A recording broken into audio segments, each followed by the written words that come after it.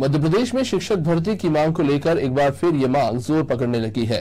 बैतूल के मुल्ताई में संविदा शिक्षक संघ ने अपनी मांगों को लेकर रैली निकाली है और उसके बाद संविदा शिक्षक संघ ने महाआरती द्वारा जल सत्याग्रह भी किया और मुख्यमंत्री के नाम एसडीएम को ज्ञापन सौंपा। संघ की पदाधिकारी मीना पवार ने जानकारी देते हुए बताया कि साल 2018 से शिक्षक भर्ती प्रक्रिया बंद पड़ी है। प्रदेश सरकार भर्ती प्रक्रिया को जल्द शुरू करे। लॉकडाउन के चलते स्कूल बंद पड़े हैं, जिसके कारण परिवार का भरण पोषण करना मुश्किल हो गया है। सर, जैसा कि सभी को ज्ञात है 2018 में हम लोगों का एग्ज़ाम हुआ।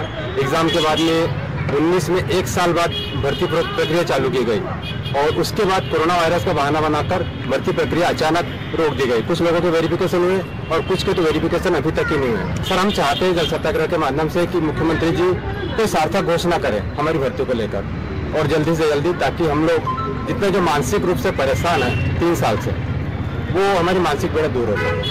सर, ये हमारा एमपीटेट 2018 की भर्ती को लेकर धरना प्रदर्शन है। प्रदेश व्यापी धरना प्रदर्शन है ये।